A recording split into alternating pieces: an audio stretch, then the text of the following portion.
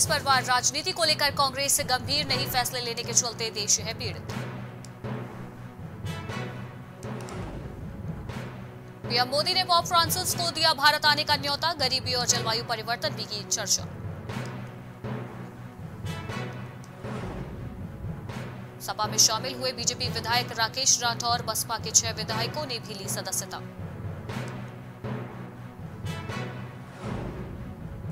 शाहरुख खान के बेटे आर्यन खान जेल से हुए रिहा क्रूज ड्रग केस में थे बंद।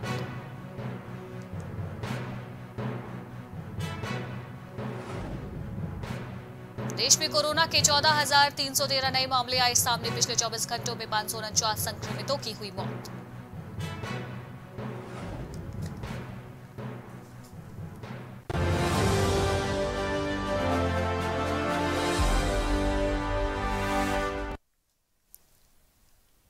नमस्कार, उत्तर प्रदेश की खबरों में आपका स्वागत है। मैं हूँ आपके साथ अनुष्का सिंह।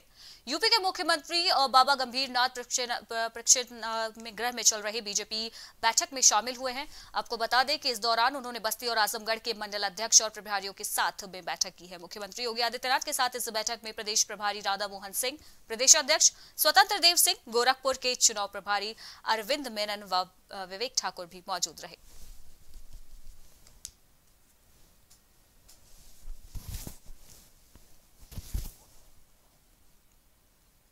वहीं अलीगढ़ में कांग्रेस पार्टी की प्रतिज्ञा यात्रा पहुँची, जहाँ पर मजराक स्थित टोल प्लाजा पर शहर की सीमा में घुसते वक्त कांग्रेस के पदाधिकारी व कार्यकर्ताओं ने इस यात्रा का ज़बरदस्त स्वागत किया। इस दौरान यात्रा की अगुवाई कर रहे नेताओं को फूल मालाओं के साथ लाद दिया गया और झंडे, बैनर और पोस्टर के साथ नारेबाजी करते हुए यात्रा का स्वागत किया गया। इस यात्रा में चल रहे नेताओं ने कहा कि जनता के बीच जो वायदे किए गए हैं, उन पर जनता विश्वास कर रही है। साथ ही आगामी दिनों में इस बात का पता चल जाएगा कि हमने जो वादे किए थे उनको पूरा करके दिखाएँगे।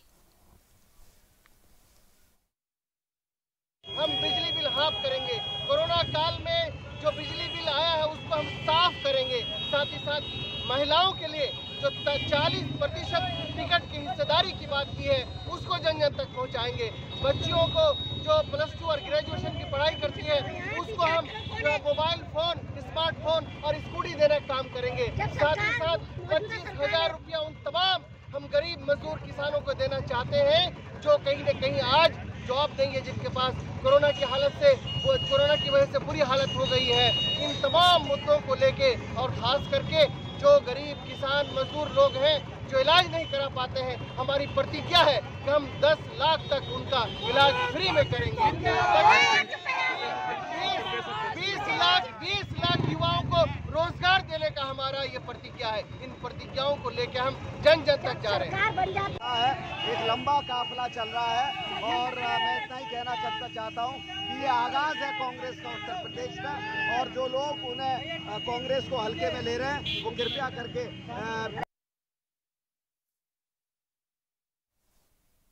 वही संभल के विधानसभा असमोली प्रभारी नेमपाल सिंह लोधी ने गाँव गाँव जाकर मीटिंग कराकर भाजपा पार्टी में लोगों की सदस्यता ग्रहण कराई। साथ ही प्रभारी ने लोगों को भाजपा सरकार के विकास कार्यों को लेकर जानकारी देते हुए कहा कि गाँव में लाइट, खेत में लाइट और अन्य सुविधाएँ भाजपा सरकार के लोगों तक पहुँचाने का काम इस वक्त सरकार कर रही है। साथ ही केंद्र सरकार और प्रदेश सरकार ने गरीबों को शौचालय और मकान देने का काम किया है। साथ ही पंडित दीनदयाल उपाध्याय और उज्ज्वला योजना के अंतर्गत लोगों को फ्री लाइट कनेक्शन और गैस देने का काम भी सरकार ने किया है, जिससे गरीबों के घर में रोशनी हो सके और गरीबों के घर तक गैस सिलेंडर दिलाने का एक आसान काम बीजेपी के द्वारा किया गया है। वहीं संभल में अकील उर रहमान खान के बीएसपी छोड़ने के बाद अब उनके समर्थकों ने भी पार्टी छोड़ दी है। जैसे ही इसकी जानकारी तमाम कार्यकर्ता और नेता गणों में पहुँची, उन सभी में खलबली मच गई, जहाँ सबसे पहले जानकारी मिलने के बाद अकील उर रहमान खान की पत्नी तरन्नुम ने बसपा से इस्तीफा दे दिया। फिर अकील उर रहमान के समर्थन में काफ़ी पदाधिकारियों ने एक पत्र जारी कर मीडिया को भेजा, जिसमें उन्होंने बहुजन समाज पार्टी से इस्तीफा देने का ऐलान कर दिया, जिसके बाद मुस्लिम बसपा जिलाध्यक्ष रहे रईस कुरैशी ने भी पार्टी से इस्तीफा दे दिया।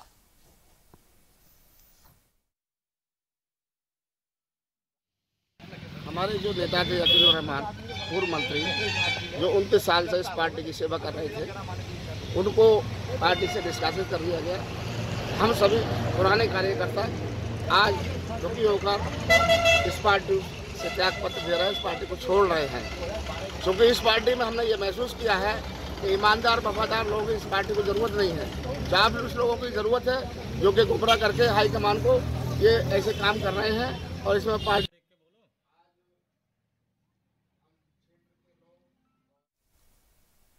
वहीं अलीगढ़ के जवा में एक निजी चिकित्सालय में डेंगू के मरीज़ को भर्ती कराया गया, जहाँ इलाज के दौरान उसकी तबियत बिगड़ने पर उसको दूसरे अस्पताल में रेफर कर दिया गया, जहाँ युवक की दूसरे दिन मौत हो गई। इस मामले में परिजनों को पता चला कि निजी अस्पताल के संचालक द्वारा गलत ब्लड को चढ़ा दिया गया था, जिसकी वजह से युवक की हालत बिगड़ गई और उसकी मौत हो गई।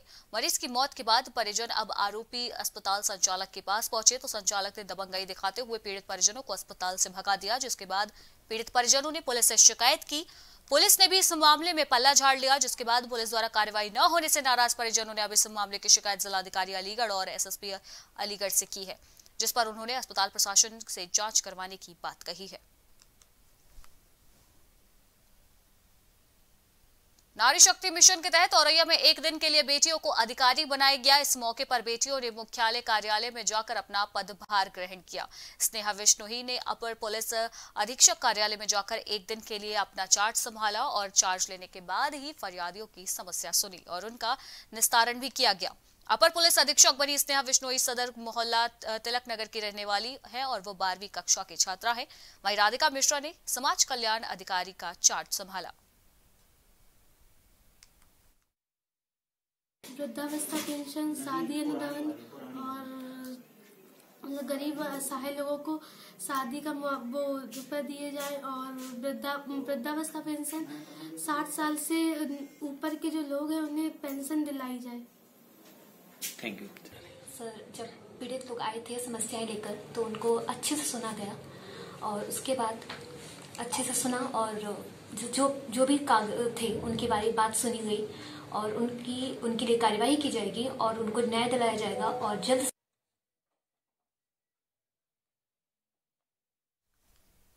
मिर्जापुर जनपद के जिला मुख्यालय पर किसानों को पराली का फ़ायदा बताने के लिए चार प्रचार वाहनों को जिलाधिकारी प्रवीण लक्ष्यकार ने हरी झंडे दिखाकर रवाना किया। उन्होंने बताया कि पराली से कई नुकसान होते हैं। इसे किसान समझे और उसे खाद बनाकर अपनी आमदनी को बढ़ाने का काम करे। कृषि विभाग की जन जागरूकता अभियान के तहत फ़सल अवशेष का उचित प्रबंधन कर खेत और पर्यावरण को नुकसान से बचाने का कार्य इस वक्त जारी है। रैली को हरी झंडी दिखकर रवाना की गई है। क्या है रैली का उद्देश्य? जो किसान फ़सल बोते हैं और उसके बाद जो अवशेष बच जाता है, उसको किसानों के द्वारा जला दिया जाता है और उससे भूमि की जो उर्वरक शक्ति है, वो भी कम होती है और वायु प्रदूषण भी होता है। तो इसके लिए किसानों में जागरूकता उत्पन्न करने के लिए हमने ये दो प्रचार वाहन भेजे हैं और ये जनपद के सभी हमारे ब्लॉक्स में जा कर के प्रचार करेंगे और किसानों को जागरूक करेंगे कि ये पराली जलाने के क्या नुकसान है और इसमें क्या दंड का प्राविधान है और इसके अलावा वही जनपद सिद्धार्थ नगर में महिला मोर्चा के प्रदेश मंत्री डॉक्टर ममता पांडे का आगमन हुआ। महिला मोर्चा के पदाधिकारियों ने फूलमाला फैलाकर उनका जोरदार स्वागत किया है। महिला मोर्चा के प्रदेश मंत्री ममता पांडे ने अलग अलग विकास खंडों में जाकर लोगों के बीच भारतीय जनता पार्टी के कार्यों को गिनाया और महिलाओं के प्रति जागरूक किया। प्रदेश मंत्री ममता पांडे ने लोगों को बताते हुए कहा कि जब से भारतीय जनता पार्टी की सरकार बनी है, महिलाएँ अब पूर्ण रूप से सुरक्षित महसूस कर रही हैं। पहले की सरकार में महिलाएँ घर से निकलने के लिए सौ बार सोचा करती थी, लेकिन अब महिलाएँ निडर होकर बाहर निकल रही हैं। सरकार की उपलब्धियों के बारे में लोगों के बीच रहते हुए महिलाओं के हित में भी उन्होंने बात की। कहा कि सिद्धार्थ नगर पिछड़ा है, लेकिन मैं आज आई हूँ तो मुझे अच्छी सड़कें भी यहाँ पे दिखी हैं। एक बहुत बड़ा मेडिकल कॉलेज भी दिखा है। और हमारी बहनें जो यहाँ की हैं वो बता रही हैं कि यहाँ पे अब अच्छा से कॉलेज भी खुला हुआ है। केंद्रीय विद्यालय। भी खुला है। तो धीरे धीरे पिछड़ा था लेकिन अब धीरे धीरे मुझे लग रहा है मेडिकल कॉलेज अभी माधव और त्रिपाठी हाँ? उनका बहुत अच्छा अभी मैं रास्ते में देखती हूँ बहुत बड़ा मेडिकल कॉलेज खुला है। आदरणीय प्रधानमंत्री जी ने उद्घाटन भी किया है। तो धीरे धीरे डेवलपमेंट हो रहा है। कुछ पहले था कि पिछड़ा था लेकिन अब आगे बढ़ रहा है। हम हमारे देश के साथ बुलंदशहर में हाई टेंशन लाइन का तार टूटकर गिर गया। तार टूटने के वजह से चपेट में आए आठ वर्षीय बालक उसमें झुलस गया। वहीं सिकंदराबाद विधानसभा क्षेत्र के गाँव आढ़ा में प्राथमिक स्कूल के मेन गेट से सटकर जा रही हाई टेंशन लाइन का तार अचानक टूट गया। तार की चपेट में आकर प्राथमिक स्कूल में पढ़ने वाले द्वितीय कक्षा के छात्र प्रशांत उसमें झुलस गया। घायल छात्र को गंभीर हालत में इलाज के लिए सिकंदराबाद स्थित नवीन हॉस्पिटल में भर्ती कराया गया है। ग्राम प्रधान ने आरोप लगाते हुए कहा कि चार महीने पहले से प्राथमिक स्कूल के बाहर लगे ट्रांसफार्मर और लाइन शिफ्ट करने के लिए एप्लीकेशन दी गई थी। शासन और प्रशासन स्तर पर प्राथमिक स्कूल में पढ़ने वाले छोटे छोटे बच्चों के लिए सुरक्षा कारणों के चलते ट्रांसफार्मर हटाने के लिए प्रार्थना पत्र दिया गया था। ये घटना सुबह बच्चे स्कूल आ रहे थे। स्कूल आ रहे, गेट पे जा रहे थे तो ऊपर से अचानक तार टूटा। ट्रांसफार्मर रखा हुआ है ऊपर से ग्यारह हज़ार लाइन जा रही है। जिसकी कंप्लेन अब से चार महीने पहले शासन प्रशासन सबको दे रखी है लिखित में दे रखी है लेकिन कोई एक्शन नहीं हुआ है। और जब बच्चे यहाँ से जाए थे ऊपर से तार टूटा तार टूटा यहाँ बच्चा जी उसको पकड़ लिया। मैं इधर से घूमते हुआ आ रहा था सुबह से वॉचिंग करके आया था जब दो बच्चे यहाँ चिल्लाए और मैंने देखा बच्चा यहाँ पे है। मैंने तुरंत तो पड़ोस से डंडा लिया और डंडा लेके सबसे पहले बच्चे को हटाया वहाँ से जो। हटाने के बाद तार को घर फेंका। कहाँ पढ़ता है बच्चा? बच्चा प्राइमरी स्कूल में पढ़ता है इसमें अच्छा अच्छा। जी सेकंड क्लास का बच्चा है प्रशांत नाम है। एफआईआर करने आए जी किस बात की? बिजली डिपार्टमेंट के लिए कोई कार्रवाई नहीं करते वहाँ से ट्रांसफार्मर के दस कंप्लेंट दे चुके हैं हम उसके हटाने के लिए। अच्छा। कोई सुनवाई नहीं है कहीं भी। कई बार का अभी दस दिन पहले मोर पकड़ा था और एक तार दस दिन पहले और टूटा था अभी। स्कूल में ही जो स्कूल की बिल्डिंग है उसके ऊपर तार जा रहे हैं ग्राउंड के ऊपर कर।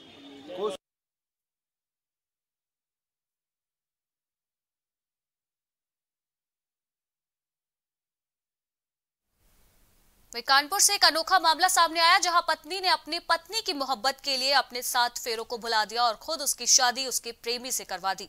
इतना ही नहीं पति के सामने ही पत्नी ने प्रेमी से साथ फेरे लिए और दोनों की शादी हुई। दरअसल प्रेमी प्रेमिका दोनों शादी से पहले से ही प्यार करते थे लेकिन आ, कोमल की शादी पंकज से करा दी गई और शादी के बाद कोमल की पंकज से पटरी नहीं खाई और जब पंकज को इस पूरी बात का पता चला तो उसने खुद ही अपनी पत्नी कोमल की शादी उसके प्रेमी के साथ करा दी। वहीं सखी केंद्र में इस शादी को पूरा संपन्न कराया गया है जहाँ पर महिला पुलिस ने वर वधु को आशीर्वाद दिया और उनके उज्जवल भविष्य की कामना की। कोई रीजन नहीं हमें अपनी मर्ज़ी से करना। अभी तो पढ़ाई कर रहे हैं।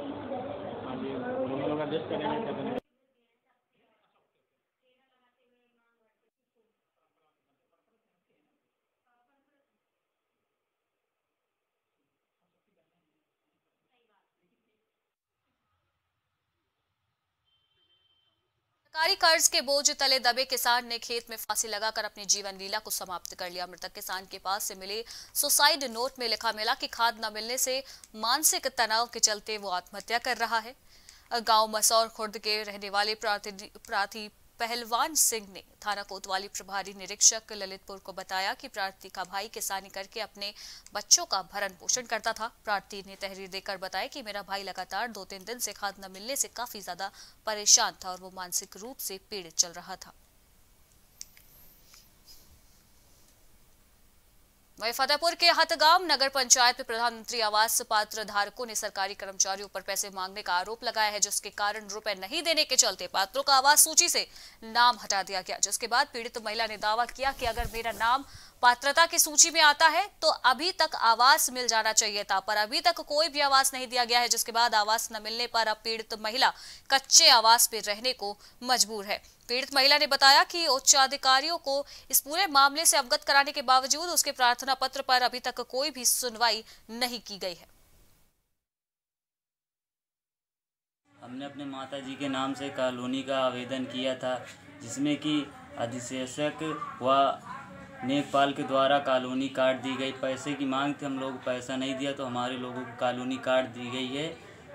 और हम लोग डीएम के, डीएम साहब के यहाँ भी गए हैं, वहाँ भी कोई सुनवाई नहीं हो रही है और हमारा घर कच्चा है। हम लोग पात्र हैं। आगरा के थाना सिकंदरा में एक कर्मचारी की हत्या का एसएसपी आगरा ने खुलासा कर दिया है। कर्मचारी ने गाड़ी खराब होने पर दो लोगों से मदद ली थी, जिसके बाद कर्मचारी का शव मुरैना से बरामद किया गया था। लूट के इरादे से कि दो आरोपियों ने कर्मचारी की हत्या की थी। इस मामले में गिरफ़्तार आरोपी अर्जुन पहले से ही दो हत्याकांड को अंजाम दे चुका है। देखिए, दिनांक 18 दस को सनी टोयटा के जो एक कर्मचारी थे, वो गायब हो गए थे और उनकी गाड़ी एक जगह खड़ी मिली थी। 19 इनकी जो डेड बॉडी है, वो 19 दस को मुरैना में मिली थी और वहीं पर इसमें कार्रवाई शुरू हुई और 21 दस को थाना सिकंदरा में इनका मुकदमा लिखा गया। मुकदमे मुकदमे का इन्वेस्टिगेशन एस पी सिटी साहब के निर्देशन में शुरू हुआ है और, शुरू हुआ और इसका आज अनावरण हुआ है। इसमें दो अपराधी, अर्जुन शर्मा और अमन शर्मा, पकड़े गए हैं। इस इस, इसकी मेन जो इसके पीछे मोटिव रहा है, वो दिनांक अट्ठारह को लौटते समय इनकी गाड़ी, जो सुरजीत खड़े थे, इनकी गाड़ी फंस गई थी और ये दोनों लोगों ने जो आज पकड़े गए हैं, इन्होंने उनकी गाड़ी निकालने में अन्य लोगों के साथ मदद की थी। जब गाड़ी बाहर निकल गई तो इनमें आपस में थोड़ा दोस्ती हो गई और ये फिर साथ साथ दावत खाने के लिए निकले। बीच में दोनों जो क्रिमिनल्स हैं, इनकी नीयत ख़राब हुई और उन्होंने इन लूटपाट करने के लिए इनकी इनके, इनका, इनके सिर पर वार किया और इनकी हत्या की। उन, इनका जो, इनके पास जो सामान था, जो चेक बुक थी पासबुक थी, जो रुपया था, वो सब इन्होंने लूट लिया और इसके बाद ये डेड बॉडी को डिक्की में डालकर मुरैना फेंक कर आकर इन्होंने वापस लाकर गाड़ी खड़ी कर दी। इसके, इस केस के वर्कआउट होने में उनके पास से जो टोल की जो रसीदें मुरैना जाते समय वो बरामद हुई है। जो उनकी चेकबुक पासबुक हैं, वो बरामद हुई है। जो तमंचा है उनके पास, वो बरामद हुआ और जो स्पैनर जो जिससे उन्होंने उसकी हत्या की, जिस पर खून लगा हुआ है, वो बरामद हुआ है। मिर्जापुर के कटरा कोतवाली इलाके के कृष्णापुरी पुरी कॉलोनी में दो चोर, एक घर में चोरी की नियत से घुसे हुए थे। खटपट की आवाज़ सुनकर परिवार के लोगों की नींद खुली। चोर को देखकर शोर मचाने पर कॉलोनी वासी भी जाग गए। वहीं पब्लिक ने एक चोर को पकड़ लिया, जबकि दूसरा चोर भागने में सफल रहा। वहीं जिस चोर को लोगों ने पकड़ा, उसकी इतनी पिटाई की गई कि उसकी मौत हो गई, जिसके बाद मौके पर पहुँचे पुलिस अधीक्षक अजय कुमार ने घटनास्थल का निरीक्षण किया। मृतक चोर की पहचान का प्रयास किया जा रहा है। वहीं शव को फ़िलहाल पोस्टमार्टम के लिए भेज दिया गया है।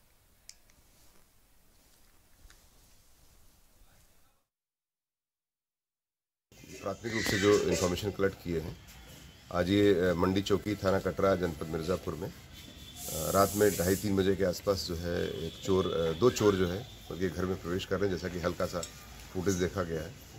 और उसके बाद लोग जाग गए और जागने के बाद जो है उनके साथ जो है थोड़ा बहुत जो फसाद हुआ, झगड़ा हुआ थोड़ा तो उस प्रदृश्य में जो है उसको चोटें आई थी। और चोटें आने के बाद जो है उस व्यक्ति की, एक चोर की उसमें मृत्यु हो गई है। लखीमपुर खीरी में आगामी त्योहार धनतेरस और दीपावली के मद्देनजर ज़िले में शांति और कानून व्यवस्था और व्यापारियों की सुरक्षा के मद्देनजर कस्बों, बाजारों भीड़ भाड़ वाले स्थानों में समस्त थानों द्वारा दंगा नियंत्रण उपकरणों और पीएसी के साथ पैदल गश्त की गई। पुलिस अधीक्षक द्वारा सदर व खीरी क्षेत्र में पैदल गश्त कर सुरक्षा व्यवस्था व आवश्यक प्रबंधों का निरीक्षण किया गया है।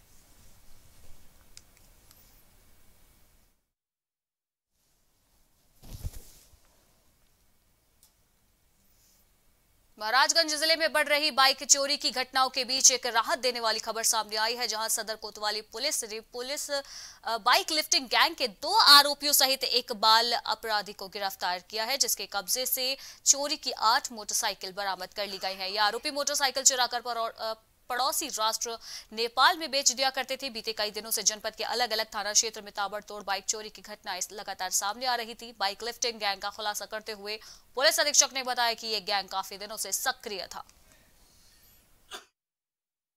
अयूब, इमरान और एक बाल अपराधी है, जुवेनाइल है। इन तीनों के कब्जे से आठ चोरी की मोटरसाइकिलें बरामद की गई हैं। इनके गैंग का एक अभियुक्त भागा हुआ है, उसकी हम तलाश कर रहे हैं। वो मिल जाएगा तो काफ़ी बड़ी संख्या में और मोटरसाइकिल मिलने की संभावना है। ये मोटरसाइकिलें अपने जनपद और आसपास के जनपद की चोरी की हुई हैं। काफ़ी समय से ये पूरा गैंग सक्रिय था और इसमें कोतवाली हमारी अगली खबर औरैया से है जहाँ राज्य मंत्री नीतीश अक्टूबर को विवादित राम जन्मभूमि पर राम भक्तों के द्वारा ध्वजा फहराने पर एक बयान दिया है। कृषि राज्य मंत्री लाखन सिंह ने मुलायम सिंह यादव पर निशाना साधा है और क्या कुछ कहा है आइए आपको सुनाते हैं। देखिए तीस अक्टूबर जैसे हमारा छह दिसंबर को आ, बाबरी मस्जिद ढाही गई थी बाबू कल्याण सिंह के पीरियड। उसके बाद से दूसरी सरकार बनी उन्होंने जो समाजवादी पार्टी के मुखिया थे, उन्होंने घोषणा की थी कि हम वहाँ पर परिंदे को पर नहीं मारने देंगे। इसके बाद जो हमारे राम भक्तों को गोलियाँ चला के जो शहीद हुए थे उसमें, और 30 अक्टूबर को वहाँ पर उनके उपलक्ष्य में झंडा फहराया गया था, पताका फहराई गई थी। इसलिए हमारे लिए ये 30 अक्टूबर का दिन बहुत ही गौरवान्वित है गौरव का दिन है। आज के ही दिन और आज तो उसके परिप्रेक्ष्य में जो हमारे राम भक्तों पर जिन्होंने गोलियाँ चलाई थी और सहारनपुर में जैसे ही नए एसएसपी आकाश तोमर ने चार्ज संभाला है, उसके बाद से चाहे वो नशा तस्कर हो या फिर अन्य अपराधी, सबकी धरपकड़ तेज़ी के साथ जारी है। इसी क्रम में आज सहारनपुर के थाना सरसावा पुलिस व क्राइम ब्रांच को एक बड़ी सफलता हाथ लगी है। आपको बता दें कि सरसावा निवासी अशोक को 9 अक्टूबर को अज्ञात व्यक्ति द्वारा इंटरनेट कॉलिंग के माध्यम से 20 लाख रुपए की रंगदारी मांगी गई थी, जिसके संबंध में पीड़ित ने थाने में शिकायत दर्ज कराई थी, जिस पर पुलिस अधीक्षक द्वारा मामले का तत्काल संज्ञान लेते हुए अभियुक्तों को गिरफ़्तार कर लिया गया है। वही रंगदारी मांगने वाले तीन अभियुक्तों को मुठभेड़ के दौरान गिरफ़्तार किया गया। देखिए, इस माह की 9 तारीख को जनपद सहारनपुर के प्रमुख व्यापारी जो सरसावा थाना क्षेत्र के रहने वाले हैं, उनको इंटरनेट कॉल के माध्यम से वॉइस कॉल के माध्यम से एक दो दिन में लगातार आठ कॉल की गई थी, जिस, जिसमें उनको कहा गया था कि 20 लाख रुपए की फिरौती मांगी गई थी और कहा था कि यदि वो फिरौती की डिमांड को पूरी नहीं करेंगे तो उनको और उनके बेटे को जान से मार दिया जाएगा। इसके बाद पुलिस ने उनको सुरक्षा उपलब्ध कराई और हाईटेक सर्विलांस के माध्यम से इन अभियुक्तों को ट्रेस करना शुरू किया। ट्रेस करने के बाद हम लोगों ने तीन अभियुक्तों को उसमें से ट्रेस किया है।